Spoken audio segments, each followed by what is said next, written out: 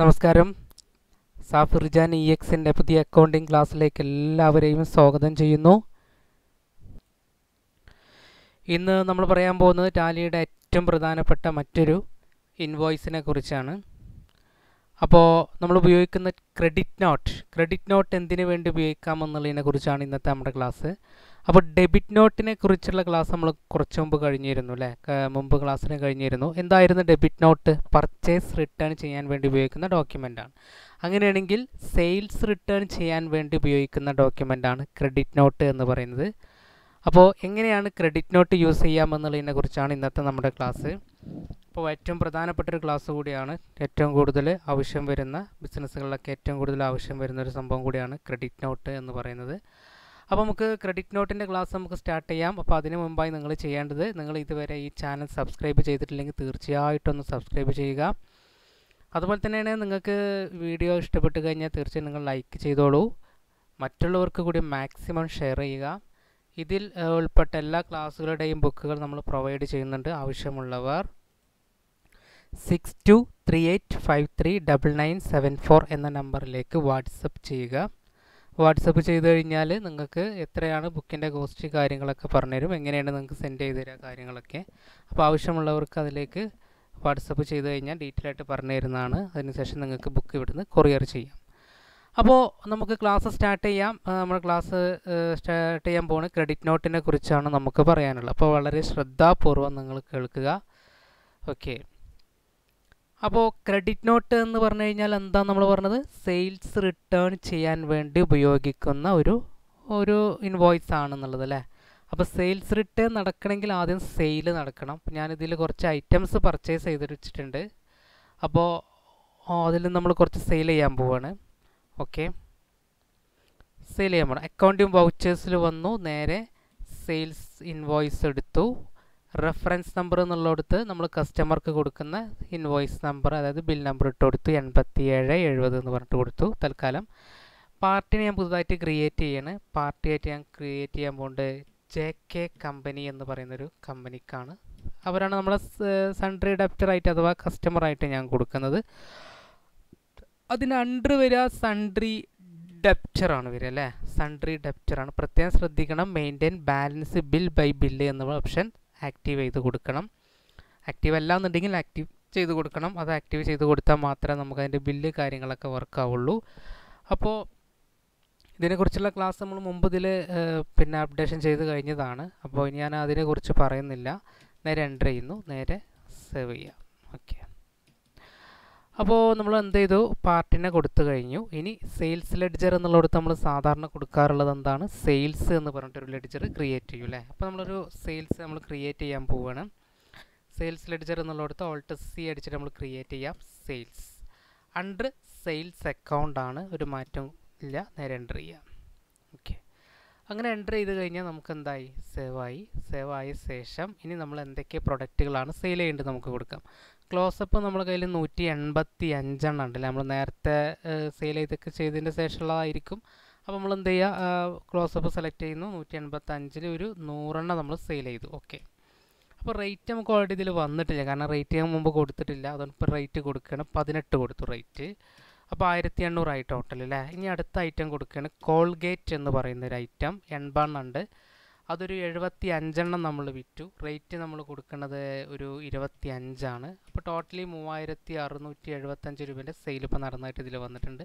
എന്നാൽ എന്റർ ചെയ്യുക new reference അല്ലേ? സെയിൽസിൽ പ്രത്യേകത ഉണ്ട്. ബിൽ നമ്പർ ന്യൂ റെഫറൻസ് ഇടുമ്പോൾ ഓട്ടോമാറ്റിക് ആയിട്ട് വരില്ല. അപ്പോൾ നമ്മളവിടെ കൊടുത്ത ബിൽ നമ്പർ ഒന്നുകൂടി ഇവിടെ കൊടുക്കേണ്ടി വരും. നേരെ എന്റർ ചെയ്യുക അപ്പോൾ നമുക്ക് എൺപത്തിയേഴ് എഴുപത് എന്ന് പറയുന്ന ഒരു ബിൽ നമ്പറിൽ മൂവായിരത്തി അറുന്നൂറ്റി എഴുപത്തഞ്ച് രൂപ കസ്റ്റമറെ കയ്യിൽ നിന്ന് കിട്ടാനുണ്ട്. ഓക്കെ ഇപ്പോൾ നമുക്കൊന്ന് ചെക്ക് ചെയ്ത് നോക്കാം എന്താ സംഭവിച്ചിരിക്കണമെന്നുള്ളത് സ്റ്റോക്ക് നമുക്ക് വളരെ കുറവാണ് ഇപ്പോൾ അല്ലേ?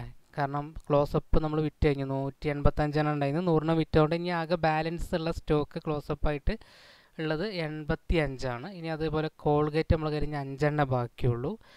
ഇനി നമ്മൾ ചെയ്യാൻ പോകേണ്ടത് എന്താണെന്ന് വെച്ച് കഴിഞ്ഞാൽ നമ്മൾ റിട്ടേൺ ചെയ്യാൻ പോകണം അല്ലേ? നമ്മൾ വേണമെങ്കിൽ ഒന്ന് പ്രോഫിറ്റ്ലെസ് അക്കൗണ്ടൊക്കെ ഒന്ന് വന്ന് നോക്കാം. റിട്ടേൺ ചെയ്യാൻ പോകണം റിട്ടേൺ എന്ന് പറഞ്ഞാൽ സെയിൽസ് റിട്ടേൺ ആണ്. വിറ്റ സാധനം ആ കസ്റ്റമർ നമുക്ക് ഇങ്ങോട്ട് തന്നെ തിരിച്ചു തരാണ്. അപ്പോൾ കസ്റ്റമർ നമുക്ക് ഇങ്ങോട്ട് തന്നെ തിരിച്ചു തരുമ്പോൾ തീർച്ചയായിട്ടും നമുക്ക് ഓൾറെഡി ഉള്ള ഈ സ്റ്റോക്കിലോട്ട് അയാൾ ഇങ്ങോട്ട് തിരിച്ചയക്കുമ്പോൾ സ്റ്റോക്ക് കൂടുകയാണ് ചെയ്യുക അപ്പോൾ സെയിൽസ് റിട്ടേൺ ചെയ്യുമ്പോൾ കൂടുകയാണ്. നേരെ പർച്ചേസ് റിട്ടേൺ ചെയ്യുമ്പോൾ അങ്ങനെയല്ല. പർച്ചേസ് റിട്ടേൺ ചെയ്യുമ്പോൾ നമുക്ക് അതിന് മൈനസ് ആയി വീണ്ടും പോകണം വാങ്ങിയ സാധനം അങ്ങോട്ട് റിട്ടേൺ ചെയ്യുമ്പോൾ അപ്പോൾ ഇപ്പോൾ നമ്മൾ ചെയ്യുന്നത് കസ്റ്റമർ ഇങ്ങോട്ട് തന്നെ അയക്കുകയാണ് അപ്പോൾ തീർച്ചയായിട്ടും എന്താണ്? സ്റ്റോക്ക് കൂടും. പക്ഷേ സെയിൽസ് കുറയുള്ളൂ അല്ലേ സെയിൽസ് മൂവായിരത്തി അറുന്നൂറ്റി എഴുപത്തഞ്ച് രൂപേന്റെ സെയിലാണ് ടോട്ടലി നടന്നിട്ടുള്ളത്. പക്ഷേ സെയിൽ റിട്ടേൺ നടന്നു കഴിഞ്ഞാൽ തീർച്ചയായിട്ടും ഇന്ന് മൈനസ് ആവുമല്ലോ. സ്റ്റോക്ക് കൂടും സെയിൽ കുറയും. ഇപ്പോൾ ഇതാണ് നമുക്കിനി നടക്കാൻ പോകേണ്ടത് അപ്പോൾ നോക്കാം. സെയിൽസ് റിട്ടേൺ ചെയ്യേണ്ടത് ക്രെഡിറ്റ് നോട്ട് എന്ന് പറയുന്ന ഒരു ഇൻവോയ്സിലാണ് ക്രെഡിറ്റ് നോട്ട് എന്ന് പറയുന്ന ഒരു ഇൻവോയ്സ് ഇപ്പോൾ ഓൾറെഡി ആക്റ്റീവ് അല്ല. നമുക്ക് ആക്റ്റീവ് ആക്കി കൊടുക്കണം. പക്ഷേ ഇവിടെ ആക്റ്റീവായിട്ട് കെടുക്കണുണ്ട്. അത് എന്തുകൊണ്ടാണെന്ന് അറിയാം? ഇവിടെ കണ്ട ക്രെഡിറ്റ് നോട്ട് നമുക്ക് എടുത്തു കഴിഞ്ഞാൽ നമുക്ക് വേണമെങ്കിൽ ഒന്ന് എടുത്ത് നോക്കാം ക്രെഡിറ്റ് നോട്ട് കണ്ട. ക്രെഡിറ്റ് നോട്ട് വന്നു കഴിഞ്ഞാൽ നമുക്ക് വൗച്ചർ മോഡായിട്ടാണ് വരിക. നമ്മൾ വേണമെങ്കിൽ ഒന്ന് കൺട്രോൾ പ്ലസ് വി അടിച്ച് നോക്കാം. നമുക്ക് ഇൻവോയ്സ് മോഡൊക്കെ മാറുന്നുണ്ടോ അറിയാൻ. ഇല്ല മാറുന്നില്ല. അപ്പോൾ കാരണം എന്താണെന്ന് വെച്ച് കഴിഞ്ഞാൽ എഫ് ഇലവനിൽ വരിക. എഫ് ഇലവനിൽ വന്നു കഴിഞ്ഞാൽ നമുക്ക് ഈ ഒരു ഓപ്ഷൻ കൂടെ ആക്റ്റീവ് ചെയ്യാണ്ട് record credit note in invoice mode കാരണം നമ്മൾ നേരത്തെ പിന്നെ ഡെബിറ്റ് നോട്ടിന് ആക്റ്റീവ് ചെയ്യാൻ വേണ്ടി use debit and credit note എന്ന് പറയുന്ന ഓപ്ഷൻ ആക്റ്റീവ് ചെയ്ത് കൊടുത്തിരുന്നു. അതുകൊണ്ടാണ് നമുക്ക് എന്ത് ചെയ്യുന്നത്? ഇൻവോയ്സ് മോഡ് അല്ലാതെ നമുക്ക് ക്രെഡിറ്റ് നോട്ട് ആക്റ്റീവായിട്ട് മാറിയിട്ടുള്ളത്. അപ്പോൾ നമുക്ക് അതിൽ കാണുന്ന ഈ രണ്ടാമത്തെ ഓപ്ഷൻ ഉണ്ടല്ലോ. ക്രെഡിറ്റ് നോട്ട് ഈ credit note record credit note in invoice mode അപ്പോൾ ഈ ഒരു ഓപ്ഷൻ നമ്മൾ ആക്റ്റീവ് ചെയ്ത് കൊടുത്തു കഴിഞ്ഞാൽ മാത്രമേ നമുക്കത് ഇൻവോയ്സ് മോഡായിട്ട് കിട്ടുള്ളൂ. അപ്പോൾ അത് പ്രത്യേകം ശ്രദ്ധിക്കുക. ഓക്കെ അപ്പോൾ ആ മൂന്ന് ഓപ്ഷൻസ് നമ്മൾ ആക്റ്റീവ് ചെയ്തു. ഇനി ഒന്ന് വേണമെങ്കിൽ കൺട്രോൾ വി എന്ന് അടിച്ച് നോക്കാം. ഓക്കെ ഇപ്പോൾ കറക്റ്റായി അല്ലേ അപ്പോൾ നേരത്തെ നമ്മൾ എന്ത് ചെയ്യുക നേരത്തെ തന്നെ അത് എസ് ആക്കി കൊടുത്തു കഴിഞ്ഞാൽ നമുക്ക് ഓൾറെഡി നമുക്ക് നേരിട്ട് കൺട്രോൾ എഫ് എയ്റ്റ് അടിച്ച് കഴിഞ്ഞാൽ കിട്ടുമായിരുന്നു. അപ്പോൾ കൺട്രോൾ പ്ലസ് എഫ് എയ്റ്റ് ആണ് ക്രെഡിറ്റ് നോട്ടിന്റെ പിന്നെ ഫങ്ഷൻ കീ എന്ന് പറയുന്നത്. ഇനി നമുക്ക് ഒറിജിനൽ ഇൻവോയ്സ് നമ്പർ എന്നുള്ളത് വേണമെങ്കിൽ നമുക്ക് ഇൻവോയ്സ് നമ്പർ എന്താണെന്ന് വെച്ചാൽ കൊടുക്കാം. പിന്നെ ഇപ്പോൾ ഡേറ്റ് ഒന്നും ഇതിൽ ആക്റ്റീവ് അല്ലാത്തതുകൊണ്ട് കൊടുക്കണില്ല. പിന്നെ കമ്പനി ജെ കെ കമ്പനി എന്ന് പറഞ്ഞിട്ട് കൊടുത്തു. ഇവർക്കാണ് നമ്മൾ റിട്ടേൺ ചെയ്യേണ്ടത് അപ്പോൾ പാർട്ടി അക്കൗണ്ട് നെയിം എന്നുള്ളിടത്ത് അവരെ കൊടുത്തു. ഇനി അടുത്തായിട്ട് നമ്മൾ ശ്രദ്ധിക്കേണ്ടത് സെയിൽസ് ലെഡ്ജർ എന്നുള്ളിടത്ത് നമ്മൾ കൊടുക്കേണ്ടത് എന്താണ്? ക്രെഡിറ്റ് നോട്ട് ചെയ്യുമ്പോൾ തീർച്ചയായിട്ടും സെയിൽസ് എന്ന് പറഞ്ഞിട്ട് കൊടുക്കരുത്. ഓൾട്ട് സി അടിച്ചിട്ട് നമ്മൾ സെയിൽസ് റിട്ടേൺ എന്ന് പറഞ്ഞിട്ട് കൊടുക്കാം. സെയിൽസ് റിട്ടേൺ അണ്ടർ എന്താണ് വരിക? സെയിൽസ് അക്കൗണ്ട് അപ്പോൾ സെയിൽസ് റിട്ടേണിന്റെ അണ്ടർ സെയിൽസ് അക്കൗണ്ടാണ് വരിക. ഇനി ക്ലോസപ്പ് എന്ന് പറയുന്ന ഐറ്റം നമ്മൾ സെലക്ട് ചെയ്യുന്നു. ഞാനിവിടെ കൊടുക്കണം ഇപ്പോൾ ആ ക്ലോസപ്പ് നമ്മൾ കയ്യിൽ എൺപത്തി അഞ്ചെണ്ണ ബാലൻസ് ഉള്ളൂ. കാരണം നമ്മൾ നൂറിനാണ് നേരത്തെ നമ്മൾ സെയിൽ ചെയ്തിരുന്നത്. അതിൽ നിന്നൊരു മുപ്പത്തി അഞ്ചെണ്ണം ഇങ്ങോട്ട് തന്നെ തിരിച്ച് വരികയാണ്.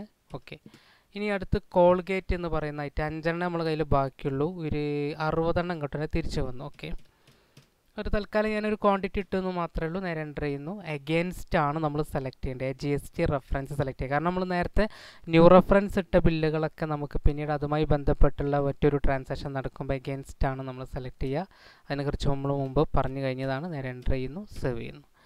അപ്പോൾ നമ്മൾ എന്ത് ചെയ്തു? ഒരു ക്രെഡിറ്റ് നോട്ട് ചെയ്ത് കഴിഞ്ഞ്. ഇനി എന്ത് സംഭവിച്ചു? നോക്കാം. സ്റ്റോക്ക് എന്ത് സംഭവിച്ചു? കൂടില്ലേ കോൾഗേറ്റ് നമ്മളെ കയ്യിൽ ആകെ അഞ്ചെണ്ണ ഉണ്ടായിരുന്നുള്ളൂ. നമ്മൾ അറുപതെണ്ണം റിട്ടേൺ ചെയ്തുകൊണ്ട് ആറ് അറുപത്തിയഞ്ചായി മാറിയിട്ടുണ്ട്. ഇനി അതുപോലെ പ്രോഫിറ്റ് ലോസ് അക്കൗണ്ട് ചെല്ലുകയാണെങ്കിൽ ഓൾട്ട് ഫണ്ട് അടിക്കുകയാണെങ്കിൽ എന്താ സംഭവിച്ചിട്ടുണ്ടാവുക? സെയിൽസ് ഇവിടെ ഉണ്ട്. മൂവായിരത്തി അറുന്നൂറ്റി എഴുപത്തഞ്ച് രൂപേന്റെ സെയിൽ നടന്നിരുന്നു. പക്ഷേ സെയിൽസ് റിട്ടേൺ നടന്നിട്ടുണ്ട് അല്ലേ? സെയിൽസ് റിട്ടേൺ നമുക്ക് രണ്ടായിരത്തി ഒരുന്നൂറ്റി മുപ്പത് രൂപേന്റെ സെയിൽസ് റിട്ടേൺ നടന്നിട്ടുണ്ട്. അതുകൊണ്ട് തന്നെ സെയിലിൽ നിന്ന് സെയിൽസ് റിട്ടേൺ നമുക്ക് മൈനസ് ആയിട്ടുണ്ട്. അപ്പോൾ നമുക്ക് ഡീറ്റെയിൽ ആയിട്ട് കാര്യങ്ങളൊക്കെ വന്നിട്ടുണ്ട്. നെറ്റ് പ്രോഫിറ്റ് അറുന്നൂറ്റി മുപ്പത്തഞ്ച് വന്നിട്ടുണ്ട്. അത് ഈ ഭാഗത്ത് നമ്മൾ മുമ്പ് ചെയ്ത പർച്ചേസ് അതിന്റെ റിട്ടേൺ ഇവിടെ ഉണ്ട്. ഓക്കെ അപ്പോൾ ഇങ്ങനെയാണ് നമ്മളൊരു ക്രെഡിറ്റ് നോട്ട് ഇൻവോയ്സ് ചെയ്യുന്ന രൂപം എന്ന് പറയുന്നത്. അപ്പോൾ ഈ വീഡിയോ എല്ലാവർക്കും മനസ്സിലായി എന്ന് കരുതുന്നു. അപ്പോൾ നിങ്ങൾക്ക് ഇഷ്ടപ്പെട്ട് കഴിഞ്ഞാൽ ലൈക്ക് ചെയ്യാൻ മറക്കരുത്. അതുപോലെ തന്നെ മറ്റുള്ളവർക്ക് കൂടി ഷെയർ ചെയ്യുക. മാക്സിമം നിങ്ങൾ ഇതുവരെ സബ്സ്ക്രൈബ് ചെയ്യാത്തവരാണെങ്കിൽ മാത്രം നിങ്ങൾ എന്ത് ചെയ്യുക? സബ്സ്ക്രൈബ് ചെയ്യുക. അപ്പോൾ എല്ലാവർക്കും ശുഭദിനം ആശംസിച്ചുകൊണ്ട് ഇന്നത്തെ വീഡിയോ ഇവിടെ അവസാനിക്കുന്നു. അപ്പോൾ എല്ലാവർക്കും നന്ദി നമസ്കാരം.